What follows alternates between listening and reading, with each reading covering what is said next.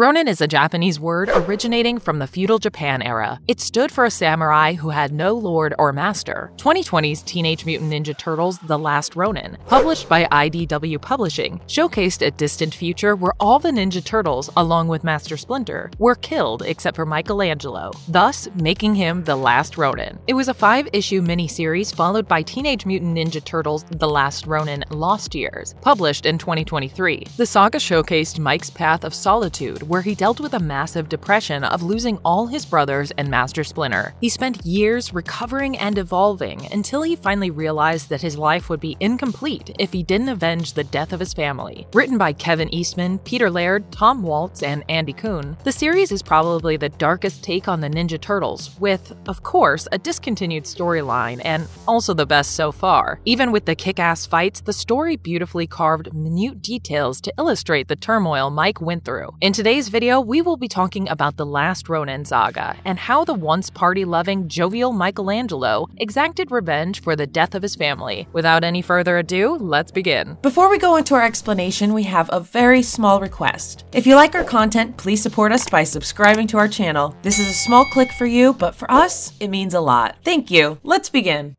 The story of The Last Ronin, the death of the ninja family. It all started after the Ninja Turtles, along with Master Splinter, were ambushed by the Foot Clan soldiers. Casey Jones had finally proposed to April, and to celebrate the occasion, the Ninja Turtles and Master Splinter were invited to dinner. However, as they were leaving the sewer, the Foot Clan soldiers ambushed them. For unknown reasons, they were stronger this time, and the fight left Master Splinter mortally wounded. Raphael, Donatello, and Michelangelo escaped with Master Splinter's unconscious body, while Leonardo fought the rest of the soldiers out of the sewer. The Hamato clan and the Foot clan were always rivals, but had been long before such an attack happened. It was Karai, one of the high-rank members of the Foot clan, who wanted to eradicate the Ninja Turtles and Master Splinter. Believing Master Splinter to be dying, Raphael's rage took over him, and he left to kill each and every member of the Foot clan in the city, along with Karai. Arriving at their base while Karai was giving her speech, he began attacking the Foot clan. Raphael was a highly highly skilled ninja, and when in rage, he was the deadliest of all. He fought all of them, and despite the Foot Clan's multiple attacks, he killed every one of them. The fight injured Raphael as well, as the Foot Clan soldiers stabbed him with knives and arrows. However, he lunged at Karai and the two began their fierce battle. Raphael grabbed Karai and plunged into the river below,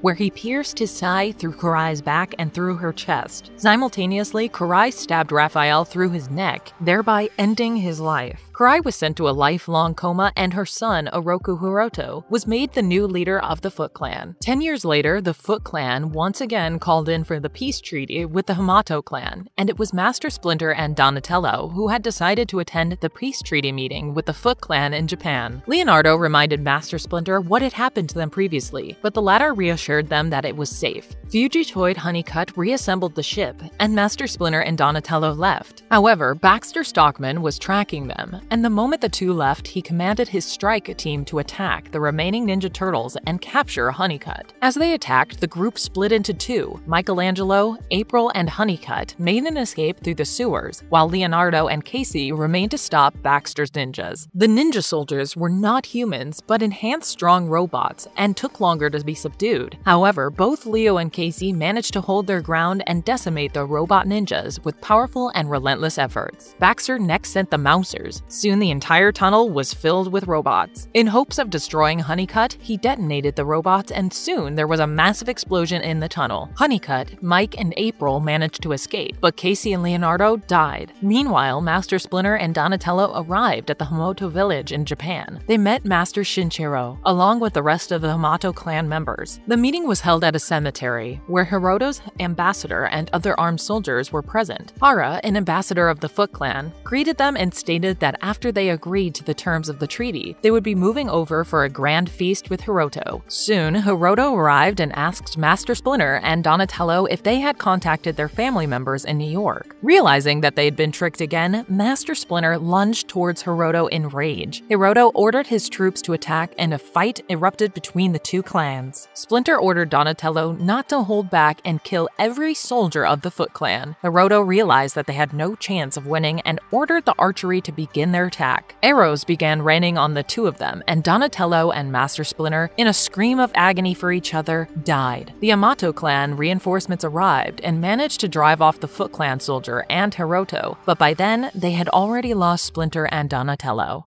Michelangelo's Life of Solitude. The great loss drove Michelangelo into an eternal depression. The once happy go lucky turtle lost all purpose in life and planned to end it in peace. It was winter when Mike began his journey to Hokkaido, Japan. He walked through the snowy mountains in the harshest of weathers without food and water in hopes of dying. Finally, he crashed into a desolate cottage and lost his senses. Despite the struggle and journey without food and water for such a long time, Mike woke up alive. It was spring and a voice whispered in his head, stating that this was not his destiny. Mike chose to survive, but also live a life of solitude. The land provided him with basic necessities and peace, and Mike spent his time meditating on his father's journal. He continued this life for three years before a group of thugs arrived at his residence and began beating him relentlessly. Mike didn't fight back and allowed himself to get pummeled to death, wondering how his brothers would have reacted to the situation. He recalled an incident where he was too scared to join the fight at at Saki's fortress, and Master Splinter asked him to snap out of it and join the fight. Recalling the moment and believing that he was not a coward, Mike stood up and began fighting the thugs. It was a few easy blows with which all of them were down except for one who had escaped. Mike realized that his life was not in the mountains but in revenge for his family. As he descended from the mountain, he arrived at a small village that was set ablaze and, and noticed the gangster who had escaped during the confrontation with him previously. It was evident that he, along along with other gang members, was looting the village and killed everyone. Mike wasted no time and charged towards them. It was an easy fight, and all the gang members were down in a few blows. One of the surviving members of the village, an old man, approached Mike and asked to flee before further gang members arrived. They worked for the ruthless crime boss, Olgoy Korkoy, aka the Death Worm, who would soon arrive at the village with his army. Recalling Splinter's words, Michelangelo began weeping, and that was when he began having visuals of the ghost of his brothers before him Leonardo, Raphael, and Donatello. Raphael asked him to stop crying and do as the old man said. Mike followed orders and continued living a nomadic life, traveling to places and hiding from the Deathworm army. The ghastly visuals of his brothers were then a regular occurrence, and they appeared to him on numerous occasions, passing advice at different instances. He reached the southern edge of Hokkaido and began swimming through the sea of Japan towards the mainland. Once reached, he began moving further south using the western coastline, he took a halt at the Monument of Remembrance in Akita and began quarreling with the ghostly visages of his brother. As Raphael mocked him for running away from the death worm, Mike yelled at him for being the reason for the demise of everyone. Raphael replied, stating that he might be the reason why things began rolling. But in some way or the other, the fight between Foot Clan and them was inevitable. The rest of the brothers explained to Mike that since they were all dead, it was Mike's job to take down Hiroto and put an end to the Foot Clan. He took a ferry from Sakaiminato, traveling to Korea, and spent the night on it talking to the visuals of his brothers. However, there were a few death worm thugs on the ferry as well, and after fighting them, Mike had to jump into the waters. After swimming for a while, he fell unconscious, and the waves brought his body back to the shore of Chiburijima. He was rescued by an old man named Master Yip and his dog Nori. Master Yip was from the Hamato clan and knew exactly about all that had happened to him previously. Master Yip had previously trained Master Splinter as well, well, and he agreed to train Michelangelo. Michelangelo stayed with Yip for a significant amount of time and completed his training. As he was about to head to the west, Yip asked him if it would be honorable to rush towards an enemy after escaping from another, pointing out his fearful retreat from the Deathworm. Thus, Mike decided that he would first face off with Deathworm before beginning his journey to New York. He arrived at the semi recently unified Korean Republic and traveled to a lawless Korean demilitarized zone named Town 38, where the Deathworm was last seen. He sold some of his weapons and entered a restaurant to buy a meal. However, as he was eating, some of the goons noticed him and freaked out at his appearance. A bald goon with the Deathworm tattoo attacked him, and after being thrashed by Mike, he revealed the location of Deathworm. It was in Mongolia. Mike next stole a car and began his journey. However, once Mike reached Mongolia, he noticed he had lost his sight. He was scared and paranoid about it and was soon captured by the people of a Mongolian tribe under the command of of Tormagan Noyan, the chief of Orda and Obug. Once he was taken before him, the man seemed friendly. He explained to Mike that it was the radiation that made him blind and agreed to let him live amongst the tribe. Mike spent days with them, eventually learning ways of fighting without his eyes, but the peace was again short lived. Soon, large hordes of Deathworm soldiers arrived and decimated the entire tribe. Mike tried fighting back, but he was captured as well. The shock of the battle gave him back his vision, and he saw corpses of Noyan and all the other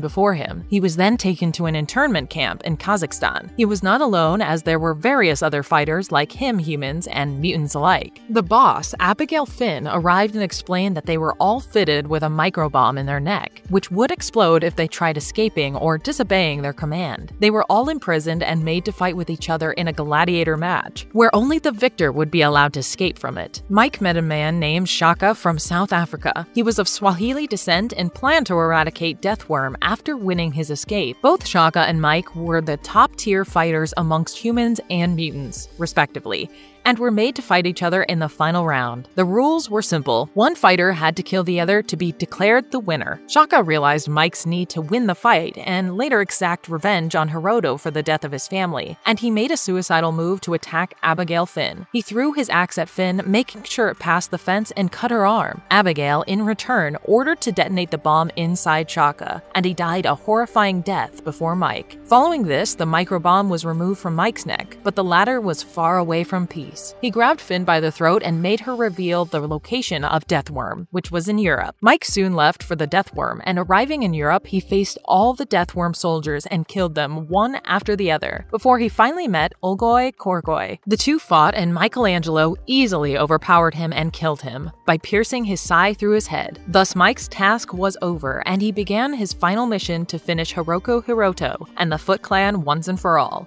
Michelangelo's final mission. New York was then ruled by Oroku Hiroto and the Foot Clan. His mother, Karai, was in a coma, and he was sure that all the Ninja Turtles were killed. Soon, Mike arrived and climbed his way into the zone controlled by foot soldiers. He stole a motorcycle that belonged to a girl named Jones and dashed as close as possible to Hiroto's stronghold. As he arrived, he flung from the bike, attaching dynamite to it and tossing it to hit a fuel truck. It caused a massive explosion, and Mike jumped into a manhole nearby. Traveling through the sewers as Mike left, he arrived at the city center with cyborg ninjas attacking him. Mike easily defeated them and continued his journey. Meanwhile, when Hiroto was informed about the chaos, he asked his soldiers to use lethal force and subdue the threat at all costs. Mike stole another motorcycle and made his way into the lower level of Hiroto's tower. Hiroto was shocked to see a ninja turtle on his way to attack and ordered all his forces to stop him. Heavily armed foot guards guarded the tower, and Mike once again used a powerful explosion to make his entry. Taking down all of the soldiers, he soon reached the second floor, where he had to face elite ninja warriors along with Stockman's cycloptic robot with Mouser heads. Mike used a pair of tonfas to create a localized EMP strike to take down the Mousers and then stabbed his katana through the Cyclops. But the momentum tossed Mike out of the building. Mike survived the fall but was badly injured. The cyborg ninjas were dispatched to find him, but thanks to Jones, he managed to escape. At the sewers, Mike, out of guilt and sorrow, planned to end his his life, but before he could do so, he passed out owing to the enormous blood loss. While unconscious, Mike found himself in a bed surrounded by his brothers, and when his eyes opened, he found himself in a bed with April, asking whom he was talking to. Mike was shocked to find April alive, who also had a daughter, Casey Marie Jones, the girl who helped him escape. Meanwhile, Hiroto made a public announcement stating that until and unless the terrorist referring to Mike, was captured and executed, the city would be under martial law. Soon, cyborg officers began attacking the civilians, and Casey and her team left the sewers to help them. Mike, healed from his previous wounds, decided to go after Hiroto. However, Casey and her team decided to help him out and showed him a massive armored truck named Battleshell. Mike, Casey, and the rest of the rebels sought to take down Baxter Stockman and his forces first. They arrived at Roosevelt Island and began their fight with Baxter's robots and cyborgs. Mike Went into solo and began taking down as many robots as possible, until a walking tank pinned him down, thanks to Casey who arrived just in time and saved Mike. The fight continued and April arrived in the battle shell, smashing through the walls of Stockman's fortress. April plugged Honeycutt's head into Baxter's mainframe, revealing her motives of destroying all of Baxter's network and him as well. Stockman knocked her and removed Honeycutt from the mainframe, but it was too late. Professor Honeycutt had finally awakened, and he electrocuted Stockman to to death and eradicated his nanomachines. He gained all access to Stockman's tech, and Hiroto lost all his defenses from Stockman. Soon, all the cyborg soldiers and officers, terrorizing the civilians on the street, went inert, and the mob began beating them and destroying them completely. Mike was ready and prepared to face Hiroto. Mike entered Hiroto's tower, and the soldiers who tried to stop him were all killed. There were at least a thousand dead bodies of Foot Clan soldiers in the building. As Mike relentlessly kept pushing them further, he finally met Hiroto, who was covered in a nanotech suit of armor. The suit could absorb lethal blows without causing much damage to Hiroto. The two fought a fearsome battle as it was the last one for them. Hiroto initially had the upper hand owing to his armor, but Mike eventually managed to deliver blows to damage the suit and reveal weak spots. All these years, Mike had preserved the signature weapons of his deceased brothers, and he took the opportunity to attack Hiroto with them. When Hiroto realized that he was about to lose the fight, he initiated an explosion in a suit to destroy both of them. The explosion mortally wounded both of them, and Hiroto died instantly. Casey and April arrived and found Mike taking his final breath. Mike finally died, and he opened his eyes to find himself with his brothers, Master Splinter, and Casey Jones. Conclusion. So we've finally come to the end of the video and we hope you've liked our content. Although dark and highly deviated from much jovial approach, The Last Ronin Saga is by far the best story in the Ninja Turtle franchise, catering to a wider range of audiences globally. Choosing Michelangelo as the last Ronin was unexpected, for which the gravity of the saga uplifted itself. Throughout the series, Michelangelo can be seen mourning the losses and living a life of pain and agony. The issues frequently made transitions to the past, crafting out every detail minutely. It was indeed a masterpiece. The saga laid the foundation for the new generation of Ninja Turtles, which April and Casey raised. We can only wait to see if these four new turtles are good enough replacements for the iconic Michelangelo, Donatello, Leonardo, and Raphael. And if you liked our content, don't forget to leave a like and subscribe to us if you haven't already. Have a good one and be safe. Thanks, everyone.